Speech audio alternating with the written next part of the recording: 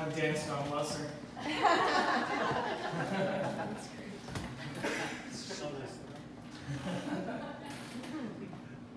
Hi, y'all. Thanks for coming.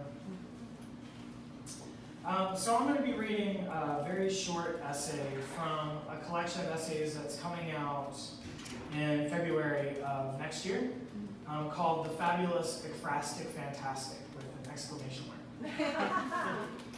and um, it's a series of ekphrastic essays um, and it's kind of fusing visual criticism with memoir. And this one is very memoir um, this particular section. And it's about David Bowie. Yes. Oh, good, I have a captive crowd. Right. That's great. When I start singing, you might cringe. It's called Life on Mars. You stand in a space, a no space, gleaming white background light. You wear a powder blue suit, so long on the thin of you, as if your limbs were mere piping for the hang of fabric. Royal blue eyeshadow pales against your flat gray eyes, orange rocker mullet, pink lips. He looks like a girl, my father says. I am inches from the cathode tube of our MTV in the living room of our ranch-style duplex in the center of Kaneohe Bay Naval Base, my father's Marine Corps biceps, repetitively flexing in the reflection of the screen as he lifts the dumb weights of his ego. Must be gay, my father says behind me. His forearm rising and falling like a breathing machine, like a machine, like a non-breathing machine. I can't quit staring at the video. Simple, no story, you in makeup. You sing directly into the camera. You face me. And I know somehow this is not about you looking like a girl. It's about something bigger. I am seven. You made the video to Life on Mars in the mid-70s when your alter ego Ziggy folded into your entire self, where only corners of Davy Jones were peeling away from the celluloid. This was your most prolific time, full of concert tours and cocaine, of simulating fellatio with Ronson's guitar and songs of capitalist exhaustion. Of course, I may not have known this, known most of this at seven years old, but what I did know was that you were mine one of my tribe, even though I didn't know what that meant. I didn't know this until much later, but you began writing your life story on the very day my life began. Before Prince, before Siouxsie Sioux, before funk singer Betty Davis, was you, my first icon, idol.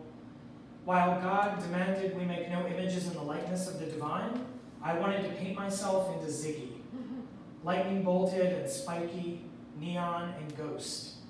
I would align my face with yours on the screen, match our delineations, our features, until my eyes blurred from the bright knowledge.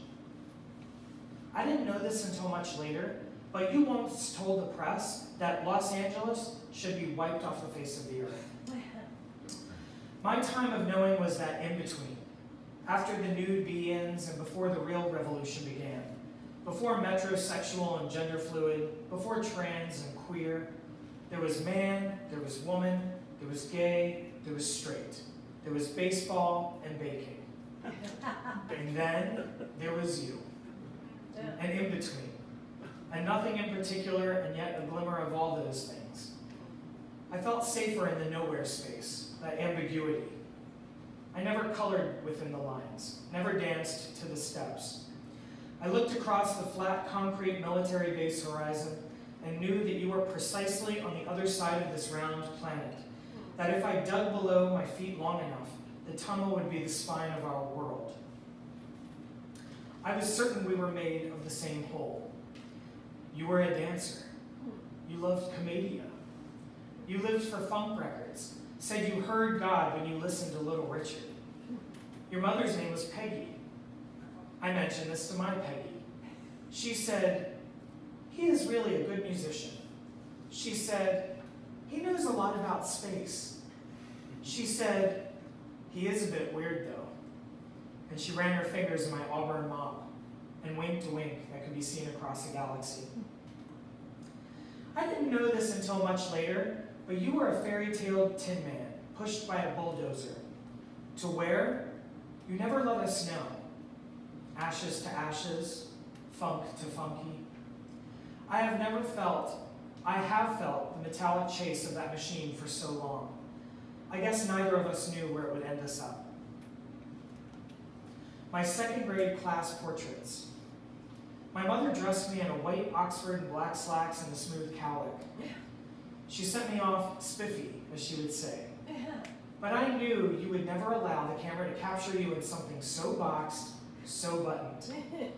When I arrived to school, I pulled out the sleeveless mesh top with a royal blue bolt across the chest that my friend Amanda found at a yard sale. I ran water through my auburn mop and pulled it to the sky. I walked to the flashing bulb and faux forest backdrop with fame pulsing in my bloody head. Snap. When the pictures came in the mail, my mother was amused, my father was harumph, and the last word from his lips that night was gay. At least, that is what I remember being the last word, even if there were more. He had called you that once, but I knew you were bigger than that, and that meant I was bigger than that too somehow. When I first moved to Los Angeles for grad school, I called my mother and said, Peggy, this fucking place should be wiped off the face of the earth. she winked through the phone. When my father emerged from a 10-year absent tenure, lifting the dumb weights of his bulldozed ego, never creative enough as you to alter one, I realized I was face to face with a man who could sell the world. And when he extended his hand kindly, he indeed was kind, but to be good, you need to be more than that. My own olive branch hidden behind my back, I sang to him, I thought you died alone a long, long time ago. I didn't know this until much later, but I was always a strong-ass motherfucker. That is why my father stayed away. That is why my mother winked at me. I guess that means we weren't exactly the same after all, you and I. But that doesn't mean I was drawn to you any less. You gave me a bright knowledge, and I will forever be grateful. Our history is a lightning bolt, first across the chest, and then across a field, and then a continent. I never saw you live, um, I'm sorry, I never saw you live, and life has traveled far, but you've lived in me all this time. And when you strung out in heaven's high, I thought I had hit an all-time low.